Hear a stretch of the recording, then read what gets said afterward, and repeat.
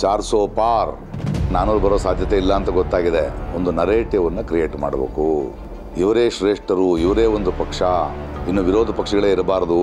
ಈ ಥರದ ಒಂದು ಭಯ ಮಹಾಪ್ರಭುವಿನ ಬಟ್ಟೆಯ ಒಳಗೆ ಬೆವರ್ತಾ ಇರೋದು ನಮಗೆ ಕಾಣಿಸ್ತಾ ಇದೆ. ಈ ಟ್ರ್ಯಾಪ್ಗಳನ್ನು ನಾವು ಅರ್ಥ ಮಾಡ್ಕೋಬೇಕು. ಒಬ್ಬ ಪ್ರಧಾನಮಂತ್ರಿ, ಒಬ್ಬ ರಾಷ್ಟ್ರೀಯ ನಾಯಕ ಅಂತ ಕರೆಸ್ಕೊಳ್ಳೋರು ನಮ್ಮ ದೇಶನೇ ಅಷ್ಟೇ ಅಲ್ಲ, ಇಡೀ ಪ್ರಪಂಚ ತಲೆ ತಗ್ಸುವಂತಹ ಒಂದು ಕೀಳು ಮಟ್ಟಕ್ಕಿಳಿದು ಮಾತಾಡ್ತಾ ಇದ್ದಾರೆ. ಇದು ಅವರ ಹೆದರಿಕೆ, ಇದು ಅವರ ನಡುಕ. ಅಂದರೆ ಬದಲಾವಣೆಯ ಗಾಳಿ ದೇಶದಲ್ಲಿ ಬೀಸ್ತಾ ಇದೆ ಅಂತ ಅರ್ಥ.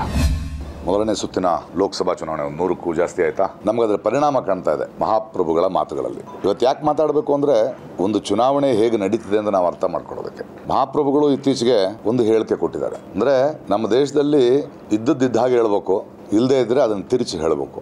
ಮನಮೋಹನ್ ಸಿಂಗ್ ಅವರ ಒಂದು ಹೇಳಿಕೆ ಹಲವು ವರ್ಷಗಳ ಹಿಂದೆ, ಎಲ್ಲ ಹಿಂದುಳಿದ ವರ್ಗದವರಿಗೆ, ಮಕ್ಕಳಿಗೆ, ಹೆಣ್ಣು ಮಕ್ಕಳಿಗೆ ಸಮಾನ ಅವಕಾಶ ಸಿಗಬೇಕು ಅಂತ. ಅದು ನೋಡಿ ಒಂದು ಮಲ್ಲಿಗೆ ಹೂವಿಗೆ, ಮಲ್ಲಿಗೆ ಹೂವಿನ ವಾಸನೆ ಮಾತ್ರ ಬೆಳಕು ಸಾಧ್ಯ. ಒಳಗಿರೋದು ಅದೇ. ಸೊ ಪ್ರಧಾನಮಂತ್ರಿಗಳ ಮಹಾಪ್ರಭುಗಳ ಮಾತನಲ್ಲಿ ಅವ್ರು ಒಳಗಿರೋ ಹುಳುಕೇನು ಅಂತ ಕಾಣ್ತಾ ಇದೆ. ಅಂದ್ರೆ ಯಾವಾಗ ಇತ್ತೀಚಿನ ಒಳಗಿನ ಸಮೀಕ್ಷೆ ಈ ಮೊದಲ ಸುತ್ತಿನ ಚುನಾವಣೆ ಏನಾಗಿದೆ ನೂರಕ್ಕೂ ಮೇಲೆ, ಅಲ್ಲಿ ಬೇಳೆಕಾಳು ಬೇಯ್ತಿಲ್ಲ ಅಂತ ಗೊತ್ತಾದ ತಕ್ಷಣ ಒಬ್ಬ ಪ್ರಧಾನಮಂತ್ರಿ ಎಷ್ಟು ಕೀಳು ಮಟ್ಟಕ್ಕೆ ಇಳಿಬೋದು ಅನ್ನೋದನ್ನು ಹೇಳ್ತಾ ಇದ್ದಾರೆ.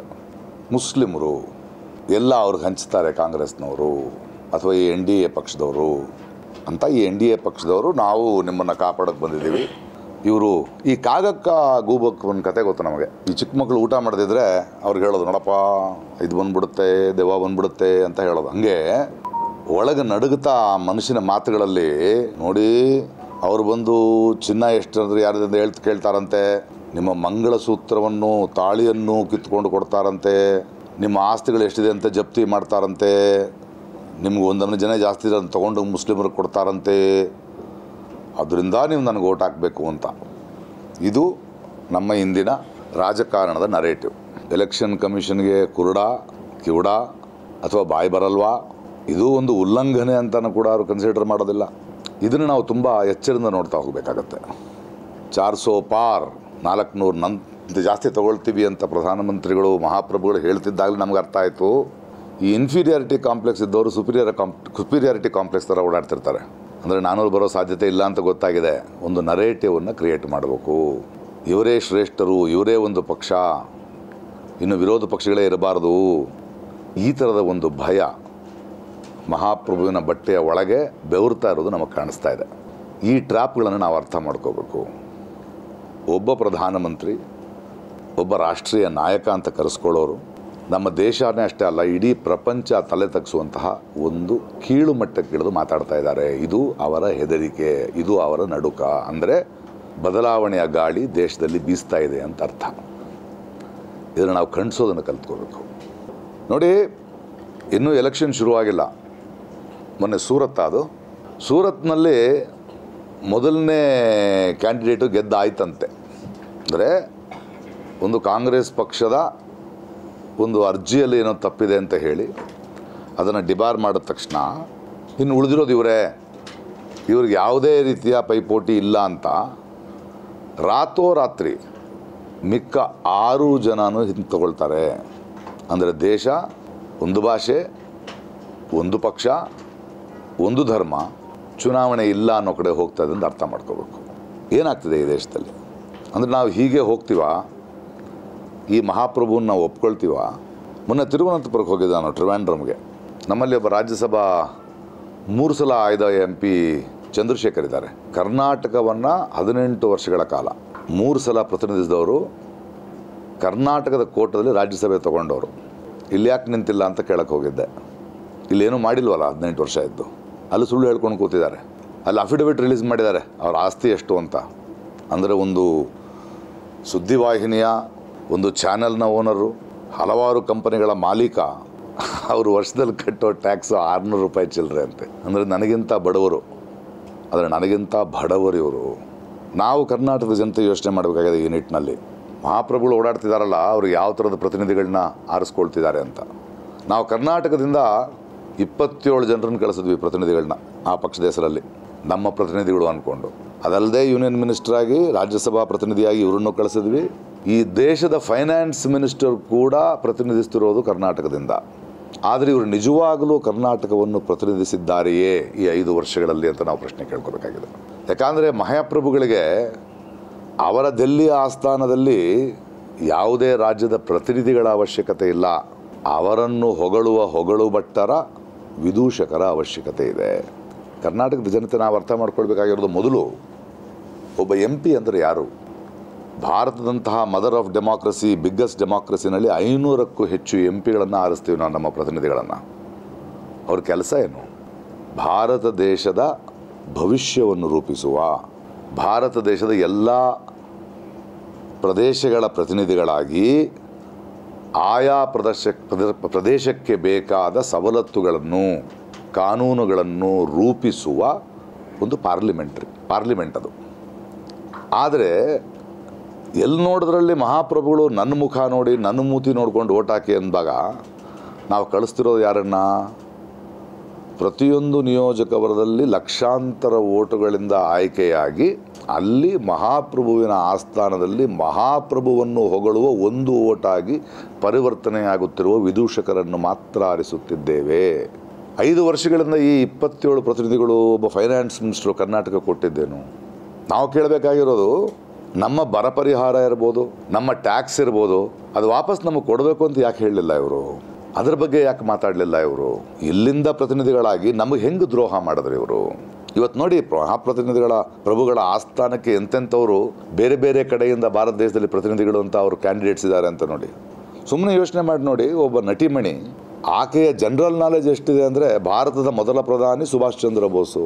ಭಾರತಕ್ಕೆ ಮೊದಲು ಸ್ವತಂತ್ರ ಬಂದದ್ದೇ ಎರಡು ಸಾವಿರದ ಹದಿನಾಲ್ಕರಲ್ಲಿ ಅದು ಮಹಾಪ್ರಭುಗಳಿಂದ. ಈ ಥರ ಮಾತಾಡುವ ಒಂದು ಪ್ರತಿನಿಧಿ ನಮ್ಮ ಭಾರತದ ಭವಿಷ್ಯವನ್ನು ರೂಪಿಸುವಂತಹ ಒಂದು ವಿಷಯವನ್ನು ಪಾರ್ಲಿಮೆಂಟ್ನಲ್ಲಿ ಮಾತಾಡೋಕ್ಕೆ ಸಾಧ್ಯನೇ. ಹೇಮಾ ಮಾಲಿನಿ ಅಂತ ಒಬ್ಬ ಹಿರಿಯ ನಟಿ ಮೊನ್ನೆ ಮತ್ತೆ ನಿಂತಿದ್ದಾರೆ, ನಿಲ್ಲಿಸಿದ್ದಾರೆ ಈ ಮಹಾಪ್ರಭುಗಳ ಆಸ್ಥಾನಕ್ಕೆ ಬರಬೇಕು ಇನ್ನೊಬ್ಬರು ವಿದೂಷಕರು ಅಂತ. ಏನಮ್ಮ ಮಾಡಿದ್ವಿ ಐದು ವರ್ಷದಾಗ ನಾನು ಸ್ವಲ್ಪ ರೋಡ್ ಹಾಕಿದ್ದೀನಿ ಏನಮ್ಮ ಮಾಡಿದ್ದೀನಿ ನಂಗೆ ನೆನಪಿಲ್ಲ.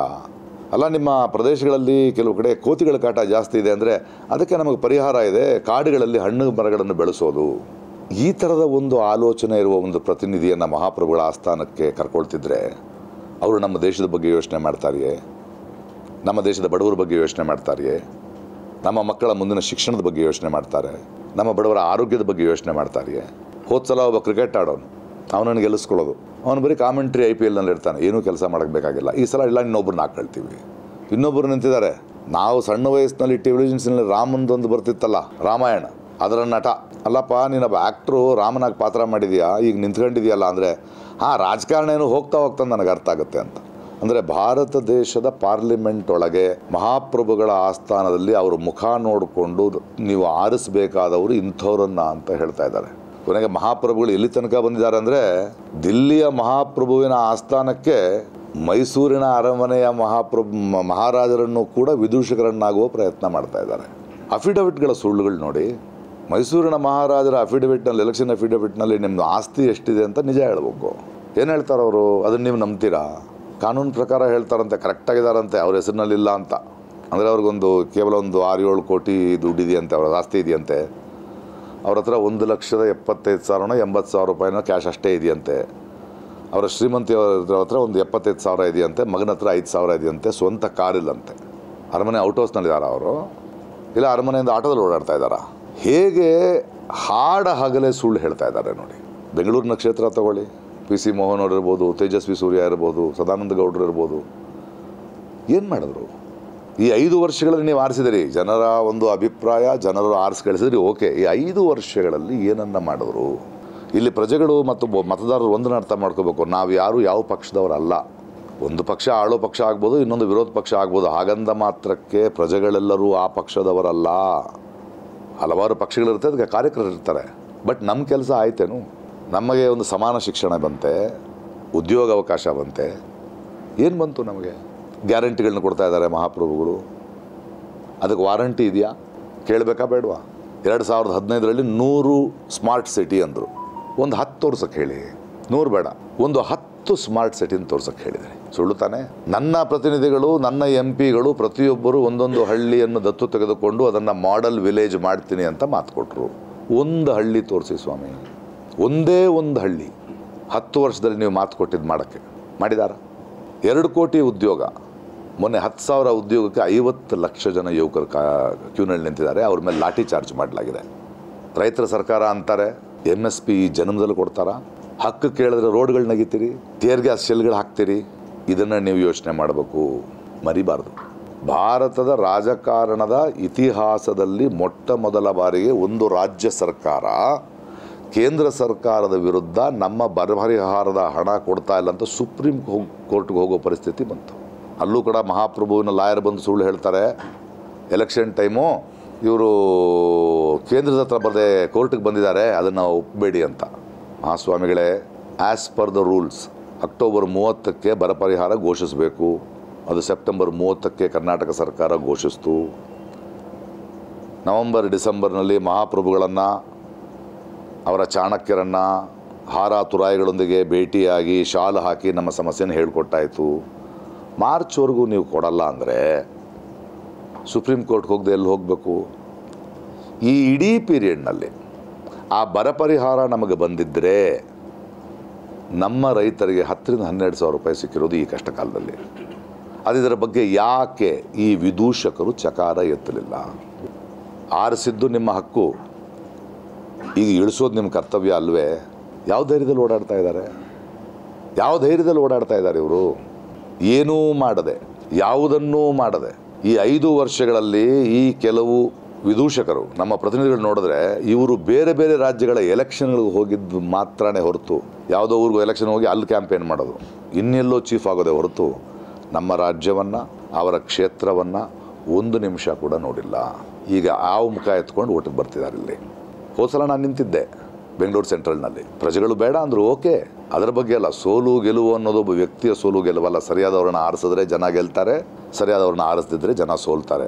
ಪಿ ಸಿ ಮೋಹನ್ ಅಂತವ್ರನ್ನ ಆರಿಸಿ, ಸತತವಾಗಿ ಆರಿಸಿ, ಅದಾದಮೇಲೆ ನೋಡಿದ್ರ ಈ ಎಲೆಕ್ಷನ್ಗೆ ಮುಂಚೆ ನೀವು? ಈಗ ಪ್ರತಿಯೊಂದು ನಿಯೋಜಕವರ್ಗಕ್ಕೂ ಪಿ ಸಿ ಮೋಹನ್ ಅವರು ಹೋದರೆ, ಬಂದ್ರೇನ್ರಿ ಅಂತ ಕೇಳಿದ್ರೆ ನಾನು ಬಂದಿದ್ದೆ ನೀವು ಕಾಣಿಸ್ಲಿಲ್ಲ ಅಂತಾರಂತೆ. ಅಣ್ಣ ಇವ್ರುಗಳಿಗೆ? ನಾನಿವತ್ತು ಇಲ್ಲೊಬ್ಬ ಚುನಾವಣಾ ಅಭ್ಯರ್ಥಿಯಾಗಿ ಮಾತನಾಡುತ್ತಿಲ್ಲ, ಒಬ್ಬ ಪ್ರಜೆಯಾಗಿ ಮಾತನಾಡುತ್ತಿದ್ದೇನೆ. ತೇಜಸ್ವಿ ಸೂರ್ಯ ಇರ್ಬೋದು ಅವರುಗಳ ವಿ, ದ್ವೇಷದ ಭಾಷಣಗಳು ನೋಡ್ಬೋದು.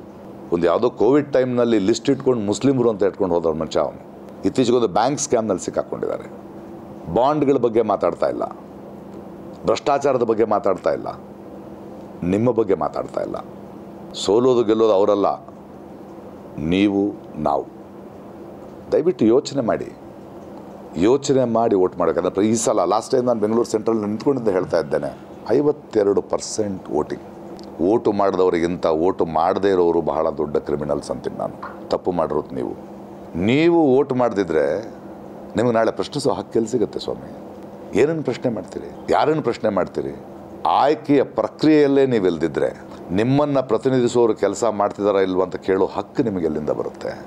ಬಲ ಅನ್ನೋದು ಪ್ರಜಾಪ್ರಭುತ್ವದಲ್ಲಿ, ಡೆಮಾಕ್ರಸಿನಲ್ಲಿ ಮೇಲಿಂದ ಕೆಳಗಡೆ ಅಲ್ಲ, ಕೆಳಗಡೆಯಿಂದ ಮೇಲೆ.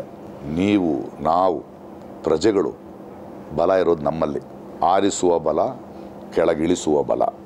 ಅದರಿಂದ ಈ ಸಲ ಹಿಂದಿಗಿಂತ ಹೆಚ್ಚಿನ ಪರ್ಸೆಂಟೇಜ್ ಓಟ್ ಹತ್ತತ್ರ ಮೂವತ್ತ್ಮೂರು ಲಕ್ಷ ಜನ ಬೆಂಗಳೂರಿನ ನಾಲ್ಕು ಕ್ಷೇತ್ರಗಳಲ್ಲಿ ಓಟ್ ಮಾಡಿಲ್ಲ ಅನ್ನೋ ಒಂದು ನಗ್ನ ಸತ್ಯ ಹೊರಗಡೆ ಬಂದಿದೆ. ನಾಚಿಕೆ ಆಗ್ಬೇಕು ನಮಗೆ. ನಮಗೆ ನಾಚಿಕೆ ಆಗಬೇಕು.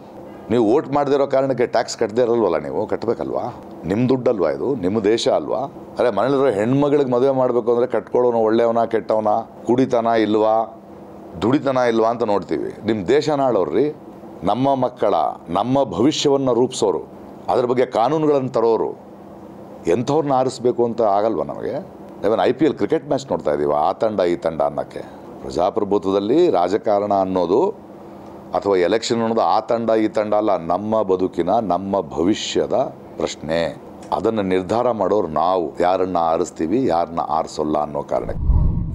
ಮತ್ತಷ್ಟು ವಿಶೇಷ ವಿಡಿಯೋಗಳನ್ನು ನೋಡಲು ಮತ್ತು ಹೊಸ ವಿಡಿಯೋಗಳ ಬಗ್ಗೆ ತಿಳಿಯಲು ಈ ದಿನ dot com YouTube channel subscribe ಮಾಡಿ ಮತ್ತು ಬೆಲ್ ಐಕಾನ್ ಕ್ಲಿಕ್ ಮಾಡಿ.